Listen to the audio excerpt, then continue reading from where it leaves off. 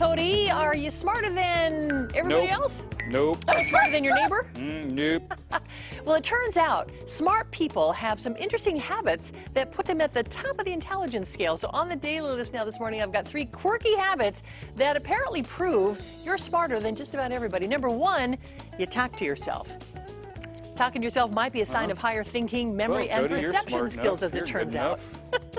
In a study from the University of Wisconsin and the University of Pennsylvania, researchers asked uh, people to remember and find objects. They were better able to recall the list of items to look for if they had said the names of the objects out loud to themselves while they were thinking about it. By vocalizing the names of those objects, apparently you're activating visual properties in your brain that help you find them. So if you walk around the house talking to yourself, where are my keys? I know my keys are somewhere.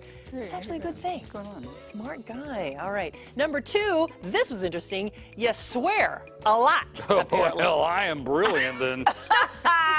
Weird. Now, you might think swearing actually is a reflection of low education and low intelligence, that when people can't think of the right word, they resort to slang and curse words. But a study found that people who could come up with more curse words had a larger vocabulary in general. Verbal ability is one of the traits of people with higher intelligence, uh, apparently, so it shouldn't be surprising that smart people know more curse words, even if they don't use them all the time. Yeah, I like to weave them together like a tapestry. Right, exactly. Well, you brainiac, you.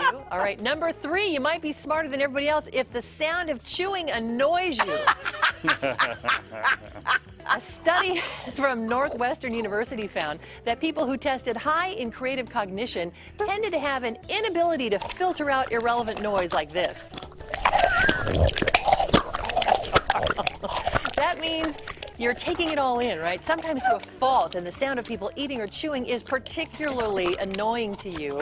Interestingly, other studies have shown that chewing gum yourself improves intellectual performance, but not listening to other people chew. It is kind of gross when you think about it. All right. More habits of smart people, including cold showers and doodling, are linked to gooddaysacramento.com. Click show info there at the top of the page, and then today's date. Back to you, you stream of curse words.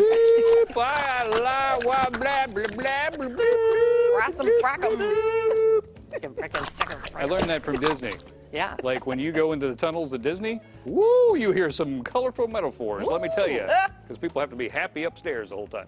Well, today.